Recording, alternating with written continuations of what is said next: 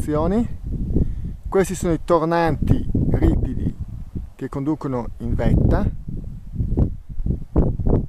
Ampio panorama verso nord delle Alpi, ma oggi è un po' offuscato. Questa è la cima occidentale della Chance e qui basso sotto i tornanti il Col